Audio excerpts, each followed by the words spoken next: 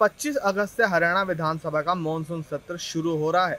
इसको लेकर हरियाणा विधानसभा अध्यक्ष ज्ञानचंद गुप्ता ने प्रेस कॉन्फ्रेंस कर जानकारी दी।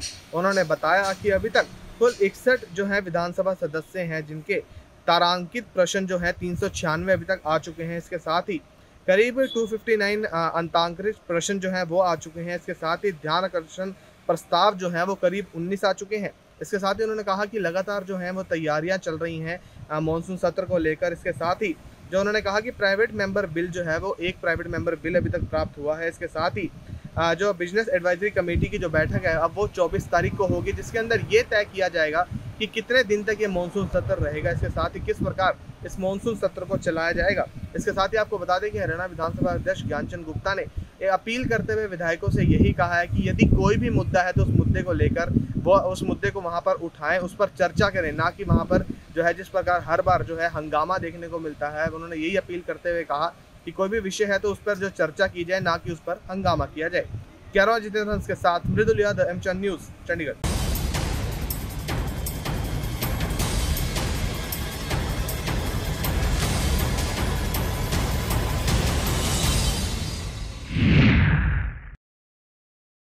केंद्रीय मंत्री राव इंद्रजीत सिंह आज गुरुग्राम के मेदांता अस्पताल में पहुँचे थे, जहाँ पे उन्होंने नो हिंसा में घायल पुलिसकर्मियों से बातचीत कर उनका हालचाल जाना।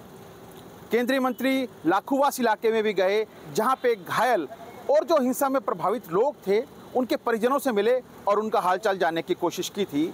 वहीं जब हमने केंद्रीय मंत्री से सवाल किया कि आखिर क्यों हिंसा के बाद मनोहर सरकार ने बुलडोज़र का जो कहर था, वो वहाँ के लोगों पर बरसाया। कैसी वो कार्रवाई समझते हैं? तो उनका कहना था कि तोड़फोड़ मनोहर सरकार ने की है तो इसका जवाब भी आप भाजपा सरकार से, मनोहर सरकार से लीजिए। कैमरामैन जितेंद्र शर्मा के साथ Neeraj Vashisht, Gurugram M H one news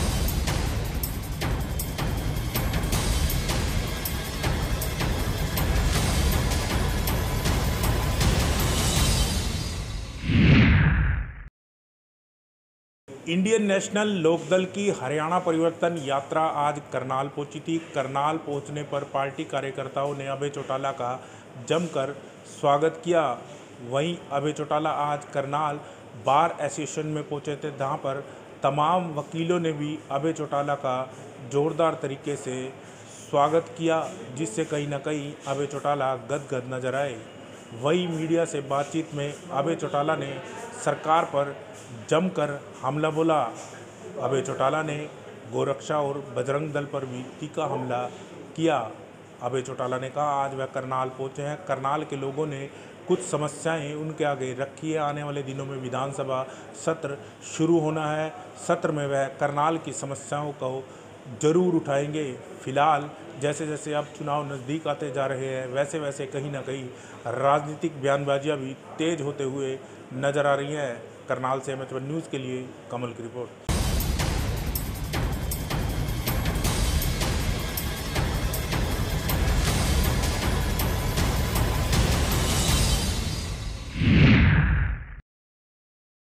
Panchkula स्थित हरियाणा के विशेष ईडी कोर्ट में आज सीबीआई के पूर्व जज सुधीर परमार को पेश किया गया।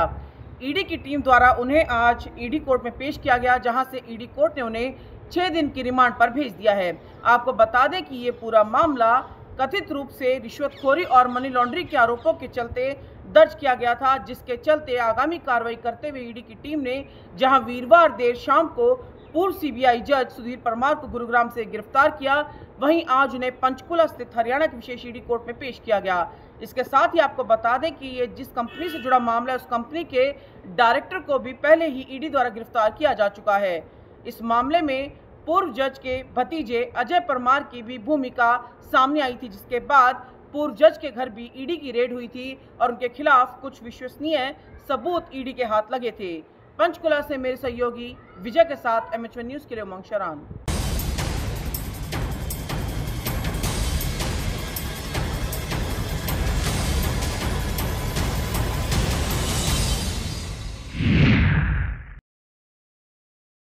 संसद के मानसून सत्र का आज समापन हो गया।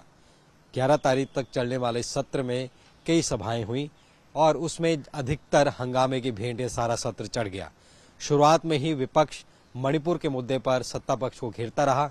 ये मांग की जाती रही कि प्रधानमंत्री मोदी सदन में आए और इस पर वक्तव्य दें। प्रधानमंत्री मोदी ज़रूर बोले आखिरी दिन बोले और उससे पहले ये कहा जा रहा था कि गृह मंत्री क्योंकि होम आ, मामला है तो गृह मंत्री इस पर जवाब देंगे। विपक्ष इस पर तैयार नहीं था। रोज ती, तो तीखी नोकझोंक इस पूरे मसले पर नज़र आती रही। तो वहीं इसके अलावा कई और मुद्दे चाहे पंजाब में पानी का मुद्दा हो या सस्पेंशन का मुद्दा हो, तमाम मुद्दे भी और नूह का मुद्दा हो लोकसभा राज्यसभा में गूंजते रहे। इसके साथ ही पंजाब के जितने भी सांसद थे उन्होंने पानियों के मुद्दे को भी लोकसभा राज्यसभा में उठाया। वहीं इसके साथ अगर बात करें तो कई मुद्दों पर दिल्ली सबसे अहम बिल रहा, दिल्ली का बिल जिसको राज्यसभा, लोकसभा दोनों से पास सरकार ने करा दिया। उसके बाद प्रोटेस्ट भी हुए। सुशील रिंकू को इसी के मद्देनजर फिर निलंबित कर दिया गया इस पूरे सेशन के लिए इस मानसून सेशन के लिए और इसके साथ ही संजय सिंह को भी सस्पेंड कर दिया गया था और आखिरी दिन राघव चड्डा को भी हस्ताक्षर मामले में सस्पेंड कर दिया। तो ऐसे में कई सांसद सस्पेंड किए गए और वहीं दिल्ली बिल आ, दोनों सदनों में पास करा दिया गया। इसके अलावा कई अन्य बिल भी दोनों सदनों में पास हुए। लेकिन अधिकतर जो आ, सदन है वो मणिपुर में के मुद्दे को लेकर हंगामे की भेंट चढ़ गया और अब इसमें कई चीज़ें हैं कुछ बिल जो पास हुए हैं लेकिन जो बिज़नेस पूरा एक लिस्ट किया गया था कि ये चीज़ें होंगी वो कहीं होती हुई सार्थक बहस नहीं दिखी। दिल्ली से कैमरामैन आदित्य के साथ नितिन धवान एम एस